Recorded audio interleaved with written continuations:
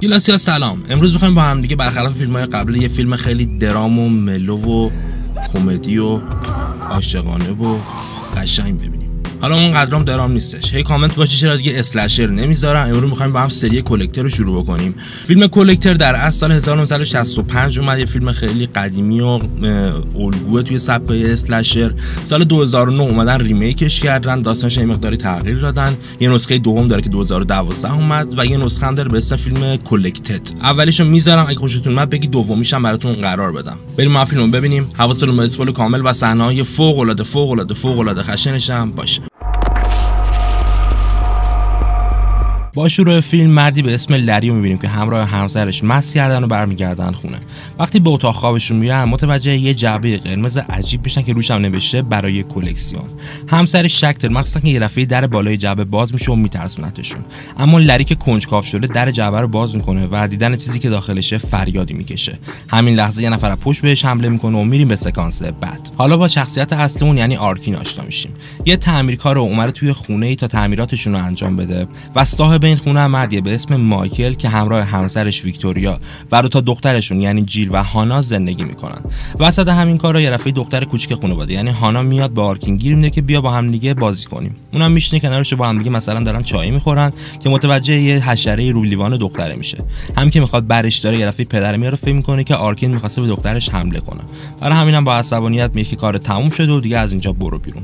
آرکین هم موقع خروج از خونه می‌بینه که خونه بغلی اومدن سمپاشی کنن و بهشون خبر میده که خونه اینا حشره زده. باید برید و سمپاشی کنیدشون مردم تشکر می‌کنه و هم دیگه خدافظی می‌کنن. آرکین قبل اینکه سوار ماشینش بشه با دختر نوجوان خانواده یعنی جیل هم روبرو میشه. جیل انگاری از جایی یواشکی اومده و یواشکی هم از دیوار میره بالا و وارد اتاق خودش میشه. آرکین هم به خونهشون میاد و با همسر و بچهش آشنا میشیم. می‌فهمیم که آرکین یه مدت زندان بوده و حالا همسرش هم توی این مدت از کسی پول قرض گرفته و نتونسته پس بده. الان هم اونا دارن میان سراغش. آرکین به همسرش قول میده که امشب هر جوری شده پول براش جور کنه. شب میشه و می‌بینیم که آرکین به دیدن مردی به اسم روی میره. این دو نفر با همدیگه دوران زندانشون رو گذروندن و روی توی کار فروش مواد و لوازم دزدیه. آرکین هم میگه که امروز رفته بودن برای تعمیرکاری خیلی پول دارن و شوهر خانواده از اوناس که الماسا و چیزای مختلف و کلکسیونی جمع می‌کنه برای همین هم می‌خوام امشب برم اونجا دزدی و 60 چهل با هم تقسیم کنیم تو برام بفروششون. روی هم قبول می‌کنه. آرکین هم بعد خدافظی به سمت خونه مایکل که صبح اونجا کار می‌کرد راه میفته خیلی زودم به اونجا می‌رسه. قبل از ورود به خونه متوجه یه سگ وحشی میشه که بهش حمله می‌کنه. موفق میشه از طرف دیگه یواشکی وارد خونه بشه. خونه خیلی ساکته و انگاری تمام اعضای خانواده از اینجا خارج شدن. آرکین از پله‌ها بالا میره به اتاق خواب مایکل و همسرش می‌رسه. گاوصندوق اینجا رو که از قبل شناسایی کرده باز می‌کنه و شروع به شکافتن رمزش می‌کنه. ولی یه دفعه صدای قدم های کسی رو میشنوه و سعی لوازمش رو برمیداره و از در دیگه اتاق خارج میشه. همین لحظه می‌بینیم مرد ماسکدار دیگه هم وارد خونه است اومده توی اتاق ولی خب آرکین رو نمی‌بینه. آرکین هم یه طبقه پایین می‌خواد از خونه فرار کنه ولی می‌بینه که در قفله. گوشه پناه می‌گیره و مرد ناشناس پله ها میاد پایین و در دیگه رو باز می‌کنه و به سمت زیر زمین میره. آرکین هم که این صحنه رو متوجه میشه دوباره برمیگرده بالا که گاوصندوق رو باز کنه. ولی یه دفعه صدای جیغ و فریادهایی رو از سیستم تهویه هوای خونه میشنوه و نگران میشه. برای همین هم سعی می‌کنه که بفهمه جریان چیه. صدا از اتاق دیگه است و همین که در باز می‌کنه صاحب خونه یعنی مایکل رو می‌بینه که با ظاهری داغون و خونی روی زمین افتاده. مایکل با دیدن آرکین فکر می‌کنه که اون این بلا رو سر خانواده‌اش آورده و شروع به فوش دادن و فریاد می‌کنه. بعدم به سمت چیزی میره که به سمت آرکین حمله کنه و همین لحظه پاش به سیمی گیر می‌کنه. سیمی که انگار به یه تله وصله و در آخر مایکل از طبقه بالا آویزون می‌کنه و پرت می‌کنه کف خونه. لحظاتی بعدم مرد ناشناس ماسکدار میاد طرفش و اونو همراه خودش به زیر زمین می‌کشه و آرکین هم یواشکی این صحنه رو می‌بینه. حالا دیگه خیلی و می‌خواد از خونه فرار کنه ولی تمام در و پنجره ها کاملا قفل شدن. به سمت تلفن میره که پلیس زنگ بزنه ولی همین که تلفن رو گوشش می‌ذاره میخی که انگاری عقب بهش وصل شده وارد گوشش میشه و به شدت فریاد می‌کشه و درد می‌گیره. سعی می‌کنه دستش رو پنجره ببره بیرون و می‌بینیم که اون ورم حتی تله وصل شده. چون دستش لای دو تا تیغ گیر می‌کنه و وقتی می‌خواد بیرون بکشدش به شدت آسیب می‌بینه. حالا دیگه آرکین فهمیده کسی که اینجا اومده و ماسک زده یا آدم فوق العاده باهوش و روانیه که اصلا نمیشه باهاش جنگید باید فقط فرار کرد. صدای پایی که دوباره میشنوه باعث میشه تو اتاق دیگه قایم بشه.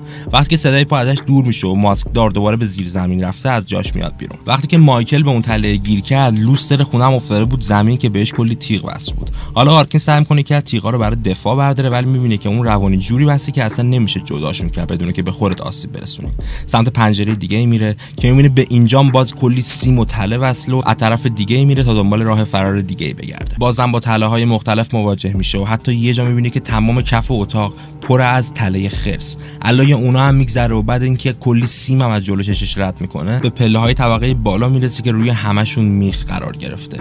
دوباره صدای این روانی رو میشنوه و یه گوشه پناه می‌گیره و وقتی که می‌فهمه از زیر زمین خارج شده به همونجا میره که کاملا هم تاریکه. یکم میره جلوتر که یه رفعه دست خونی روشونش میاد و فریاد می‌کشه و اتفاقی چراغ زیر زمین رو روشن می‌کنه.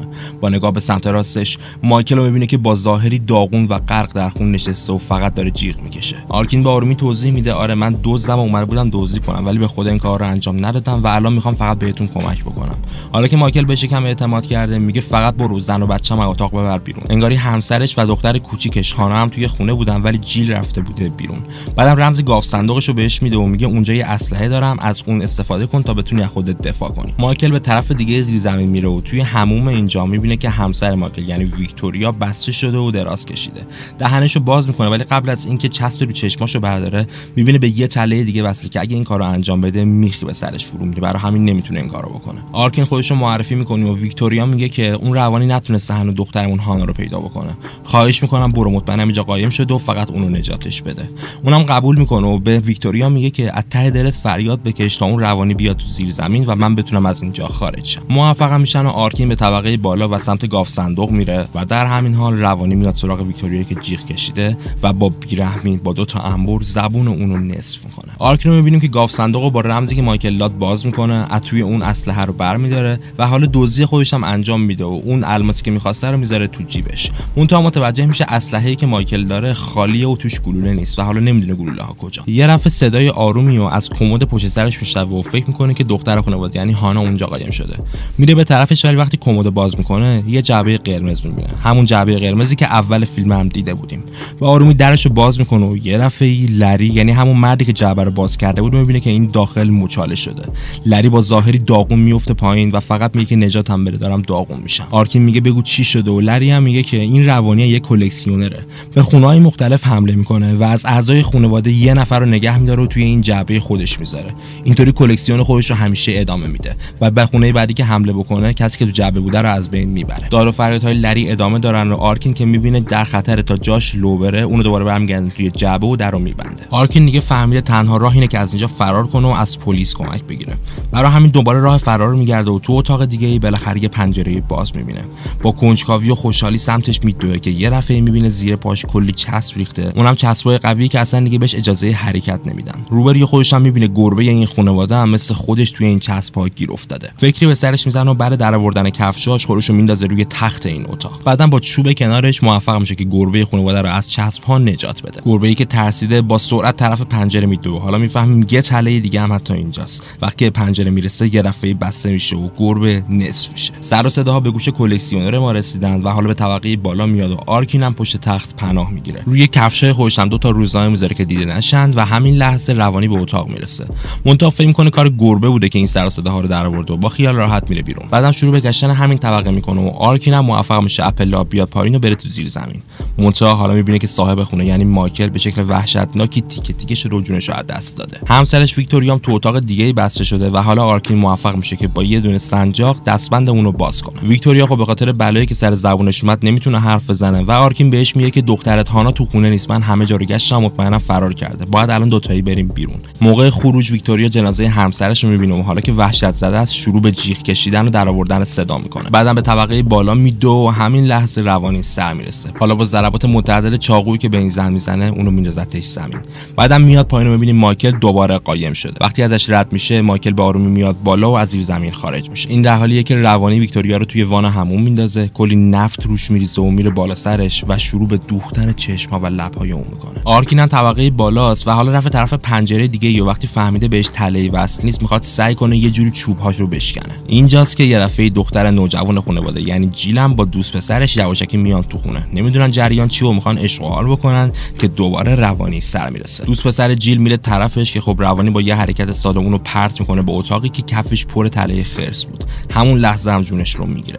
بعدم میره سراغ جیل. قبل اینکه بگیرتش جیل موفق میشه که به پلیس زنگ بزنه گوشیشو بندازه رو زمین. البته که روانی در آخر اونو با سیم خاردار به نرده های پله میبنده. وقتی دوباره به زیر زمین برمیگرده آرکین میره طرف جیل و موفق میشه که سیم خاردارها رو باز کنه. منتها جیل وحشت زده است و می‌کنه آرکین این کارو باهاشون انجام داده. با آرومی میره عقب و بی توجه به تله که پشت سرشه دوباره گیر میفته منتها بار تله پرتش می‌کنه به دیوار و می‌خوای به بدنش فرو میره که جونش رو می‌گیره. آرکین دیگه خسته شده و با موش به پنجره کناریش میکوبه که موفق میشه این بار بشکنتش. سری میپره بیرون و بالاخره آزاد شده. می‌خواد از اینجا فاصله بگیره که می‌بینه هانا توی خونه از طبقه بالا و تو اتاق قایم شده و پشت پنجره است. هانا سر راه انداخته و خب حالا دیگه جاش برای اون ماسکدار هم فاش شده. برای همینم دیگه آرکین راه چاره ای نمی‌بینه. جز اینکه برگرده به داخل خونه اون نجاتش بده. در حالی که روانی دنبال هانا راه افتاده آرکین موفق میشه که از دیوار خونه بالا بره و خودش رو به همون طبقه برسونه. سریعا هانا رو بغل می‌کنه و همراه هم دیگه به اتاق میرن و در رو قفل می‌کنه روانی هم داره به در میکوبه که آرکین فکری به سرش می‌زنه. به هانا میگه که برو اون تلویزیون اتاق بردار و روشنش کن. خودش هم میره طرف آکواریوم دیگه اتاق. ضرباتی که به در می‌خورن شدیدتر میشن و در میشکنه. آرکین فریادی می‌کشه و همزمان همراه هانا آکواریوم و تلویزیون رو میندازن رو زمین. آب آکواریوم و جریان برق تلویزیون رو زمین یه سطح الکتریکی راه انداختن. ولی روانی ما خیلی باهوشتره. به جای خودش می‌بینیم که لری همون قربانی اول داخل اتاق پرت میشه و جریان برق اونو از بین می‌بره. پشت بندش هم روانی میاد داخل و شروع به پرت کردن چاقو سمت آرکین می‌کنه. اما اون چند تا جا خالی میده و برداشتن هانا به اتاق دیگه میرن و دوباره در میبندن. اینجا از سقف کلی قلاب ماهیگیری آویزون شده که یکیشون به بدن آرکین برخورد می‌کنه ولی به آرومی درش میاد. بعدم دریچه هوای اینجا رو باز می‌کنه ولی خب خیلی کوچیکه و فقط هانا رو از اون فراری میده. همین لحظه روانی میاد داخل و میفته به جون آرکین. تا جایی که می‌خوره کتکش می‌زنه و آرکین قبل بیهوش شدن موفق میشه که ماسک این روانی رو بزنه بالا و یه لحظه چهرهش رو می‌بینه. سکانس بعد حالا آرکین توی زیر زمین بسته شده. به تمام بدنش قلاب ماهیگیری رفته و نمی‌تونه حرکت زیادی بکنه. یه دفعه صدایی از طرف دیگه زیر زمین میاد و آرکین متوجه میشه که هانا زیر میزی قایم شده.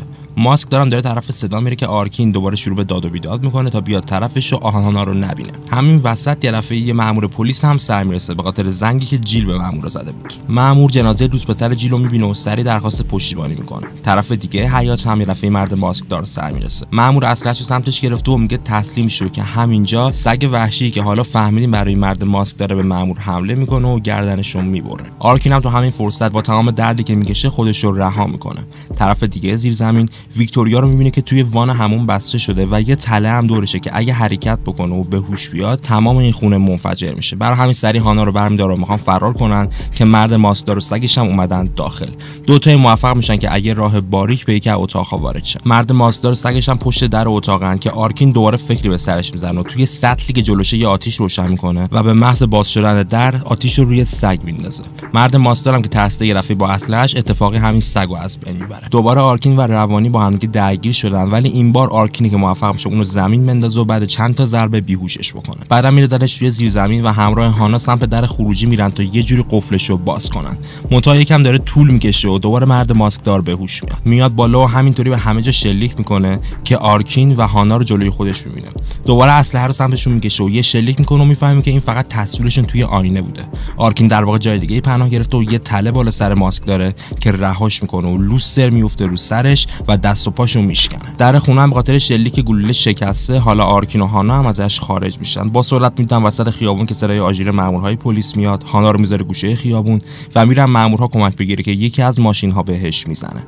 در حالی که آرکین داره هوش میره هانا رو می‌بینه که مرد ماسک داره طرفش میاد ولی می‌فهمه این فقط یه توهمه و مامور پلیسه که داره نجاتش میده. سکانس بعد داره مراقبت های پزشکی از آرکین و هانا شکل می‌گیره. مامورهای پلیس هم دارن میرن خونه رو بگردن که همین لحظه صدای انفجاری از زیر زمین میاد و خب ویکتوریا هم می‌دونیم که دیگه از بین رفته. یکی از مامورهای پلیس میاد طرف آرکین و ازش می‌خواد که اون روانی شناسایی بکنه. آرکین هم میگه من قبلتر دیدمش. امروز صبح وقتی اومده بودم اینجا تعمیرات انجام بدم یکی از سمپاش های خونه بغلی بود بعدم مامور خارج میشه و آمبولانس داره آرکین رو به سمت بیمارستان می‌بره که وسط راه ماشینی بهشون می‌زنه. لحظاتی بعد روانی ماسکدار سر می‌رسه و می‌فهمه کار اون بوده. آرکینو با بیرحمی توی جعبه قرمزی که همراه خودش آورده پرت می‌کنه و با خودش می‌بره و اینجاست که فیلم به پایان می‌رسه. کلکتوری که از اون فیلم های اسلشریه که فکر می‌کنم اعضای کانالی که از قدیم با من بودن زیاد دوست داشته باشن چون ما با فیلم مثل سربیان فیلم فیلم تراما فیلم سالو سری فیلم اره با اینجور چیزا کلا به اینجا رسیدیم. و قطعا خیلی هستن که طرفدار این دو سبکای اسلشرن یه بار دیگه اینو تعریف کرده بودم. فلسفه ساخت فیلم های اسلشر خیلی جالبه. یعنی من خودم چیزی نیستم که زیاد بهش باور داشته باشم. ولی خب خیلی از کارگردان هایی که روی این سبکا کار می‌کنن وقتی در موردش حرف می‌زنن میگن خوی انسان ها ذات انسان ها خشونت طلبه. به خاطر اینکه ما مثل حیوانات وحشی ما از انسان های نخستینی که بودیم مجبور بودیم که به بهترین کارها دست بزنیم برای بقا مبارزه بکنیم. کارگردان های فیلم های اسلشر هم اعتقادشون بر همینه و میگن که برای همین قضیه باید یه وقتای انسانی خوی درونیش رو ارضا بکنه. برای همینه که خیلی وحشی میشن یه دفعه رد میدن به روانی های تبدیل میشن که می‌بینیم بدترین کارها رو انجام میدن و خبرشون توی تمام اخبارها پخش میشه.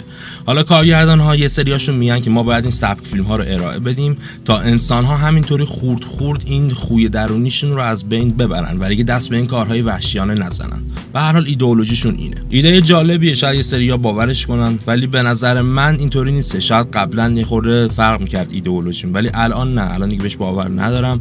به نظرم فیلم های slasher فقط یه سری box office ن برای فروش توی گیشه و خب واقعا هم موفقن. فیلمایی که وقتی که پخش میشن همون توی اکران اولشون تمام زوج ها میرن و می‌خوان شرکت بکنن و از این تجربه ترس لذت ببرن. به نظرم فقط یه box office باید بهش نگاه کلکتر هم توی این زمینه خیلی خوب عمل می‌کنه. به نظرم فیلم خیلی underrated زیاد بهش توجه نشده توی سبک slasher ولی ما با یه روانی فوق العاده باهوش طرفیم مثل جیگساو توی سری فیلم اره کسی که تمام حرکات قربانیاشو می‌تونه پیش بینی بکنه تله‌های مختلف قرار میده و به همین روش هم می‌خواد یه کلکسیون برای خودش جمع بکنه. حالا توی نسخه دوم فیلم خیلی بیشتر با این شخصیت آشنا میشین امیدوارم خوشتون اومده باشه. پیشنهاداتتون رو بنویسید. اگه دوست دارید نسخه دومش رو قرار بدم حتما بگید که تو همین هفته این کار انجام بدم. like comment و subscribe یادتون نره. روزتون هم